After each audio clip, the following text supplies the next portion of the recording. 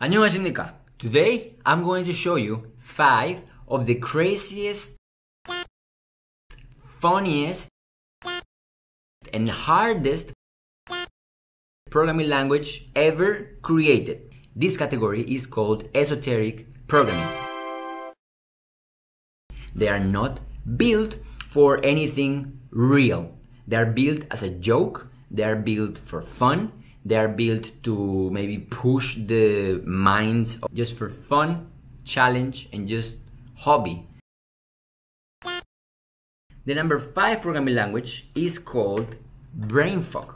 The reason why it's called BrainFuck is because it's going to fuck your brain. This language is incredibly hard because it's very minimalistic. This language only recognizes eight characters. Those are all the characters that language recognizes. I know it's crazy. And the hello word of this language looks crazy as well. Basically, the way the language works is by, moving, is by moving numbers around. Plus and minus, that's plus and minus. More than less than, that moves a number to the left or a number to the right. Dot and comma are for input and output. These ones, the square brackets, are for looping. I know, it's insane. It's called Arnold C.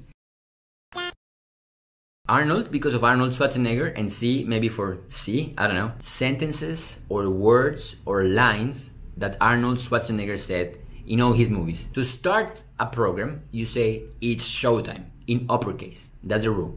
It's showtime. Say it's showtime. To do a console.log or like a printf or whatever, you say talk to the hand. And to finish the program, you will say you have been terminated. You have to say instead of if is because I'm going to say please, A.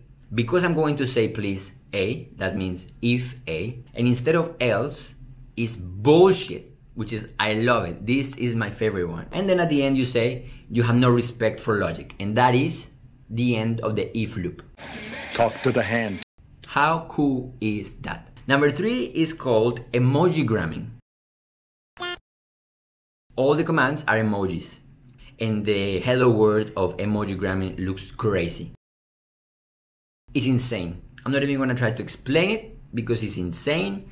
Imagine if you open a file and it's full of emojis. I don't know. Shakespeare is a programming language that makes you structure your program as if it was a Shakespeare play. Romeo, Juliet, Ophelia, and Hamlet those are names of the variables that you're going to use. It's divided into acts and scenes. The craziest part is that you have to actually have to structure your program as a play. So for example, in the hello word, it says enter Hamlet and Romeo. You cannot say Romeo equals 4. Uh-uh. In this case, Hamlet has to speak to Romeo and say U, A, B, C, blah, blah, blah, blah, and that will set the variable of Romeo.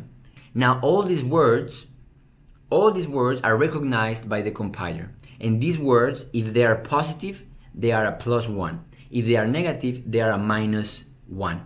If they are an adjective, they mean one. And if they are a noun, they multiply by two. Those are the ways of setting the variables. It's crazy. Now the funniest part here is that if you want to do something like console.log, you will say speak your mind. Ah? Huh? All right. Now the last one, which is my favorite one, I think, is called LOL code. LOL code. And this was made to talk like the internet people talk. So you say hi 1.2. That declares basically the version. Then to import standard whatever, you say can I has. And to console log, you say visible. And the best part is to finish the language, you say k thanks bye. So you say hi 1.2, you import a STDIO, you say can I has a STDIO, and then to open a file you say please open file. Please pay P L Z. Please open file and try and catch. Try is awesome thanks and oh no's is catch. Those are my top 5 esoteric programming languages. I think they're funny. I think that if I had to learn one, I would like to really learn Shakespeare, Lolcode and Arnold C. Let me know what you think of these uh, programming languages. Let me know which one is your favorite. If you have heard of other crazy esoteric programming language. That's it for this video. Leave a like, leave a comment, share the love, and don't forget to eat the kimchi. You are terminated.